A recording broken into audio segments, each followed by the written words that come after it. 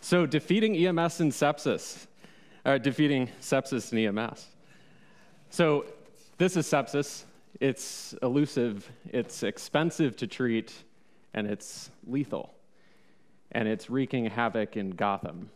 And the trouble is that most cities in Europe, in Australia, in the US are not so different than Gotham, and we're not doing too well when it comes to sepsis. So, what's the scope of the problem? In the US alone, we have over a million cases of sepsis every year. It costs us $20 billion in costs. And we think somewhere around 20% of patients diagnosed with sepsis in the in hospital setting will die. Not good numbers. And this is the critical realization that you have to have is that sepsis is a time dependent pathology. This realization is critical. From the outset, we're fighting the clock. And that makes this the key early intervention, starting as early as possible after we figure out that a patient is septic.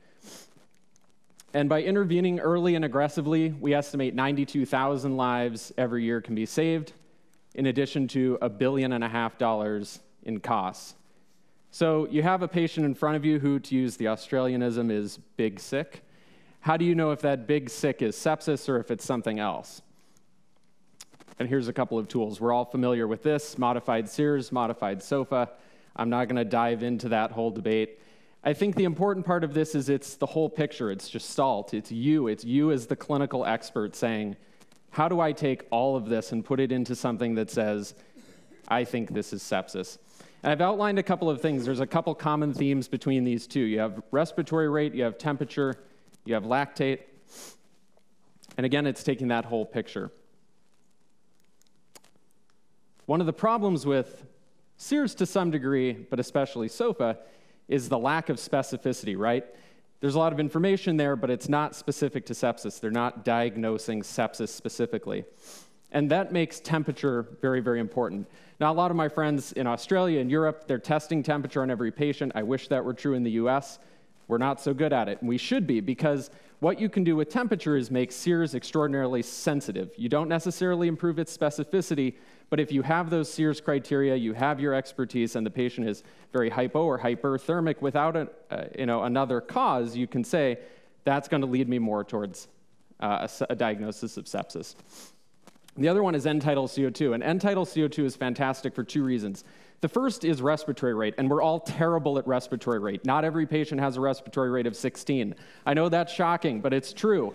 And what we've seen in the literature is that those patients who are tachypneic, it's not necessarily uh, uh a, a, uh, an issue in and of itself, but it tells you this patient is extraordinarily sick. It's a marker of disease severity.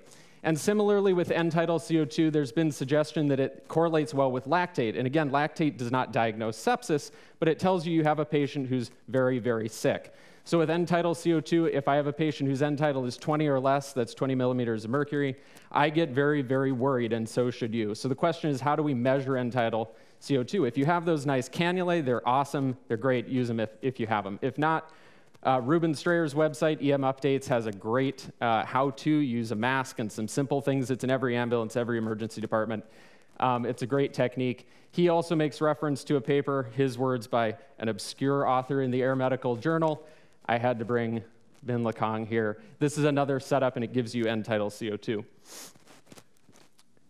So now we've determined we think a patient is septic. What do we do about it? And we've had sepsis 2.0, early goal directed therapy, sepsis 3.0, ProMISe, ARISE, ProCESS, all of these.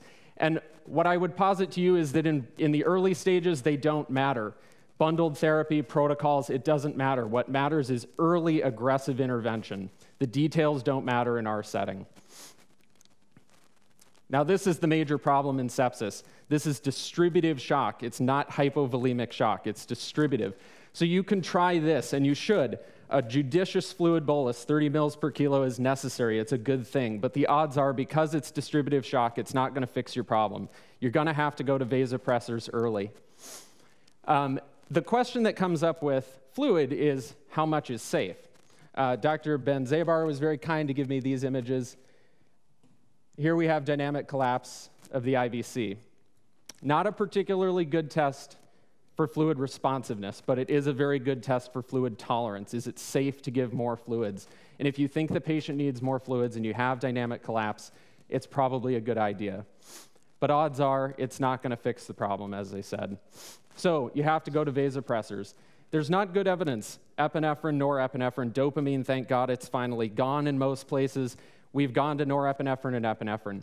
And I think for most patients, norepinephrine is a good choice, but there are, there are a small subset of patients for whom epi is better. And here's a good way to figure out which. Again, point of care ultrasound. Take a look at the heart and look at this heart. We're not looking for details. This is a broad 10,000 foot view. This is a heart that's not beating well.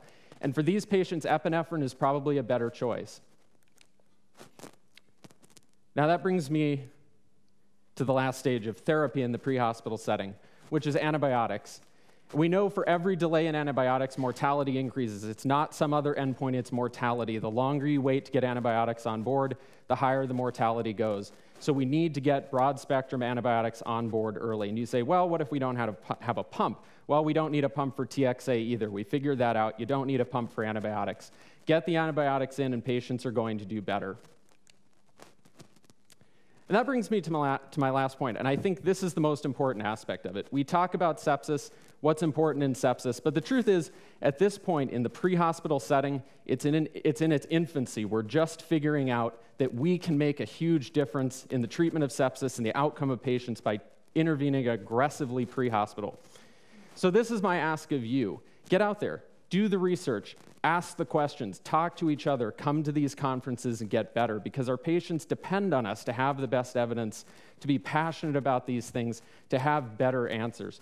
So that, that is the critical, critical thing that has to happen is that each and every one of you has to get out there and do the work and publish so that we know how to treat these patients most effectively in our setting. And with that, I thank you for your time. Thank you.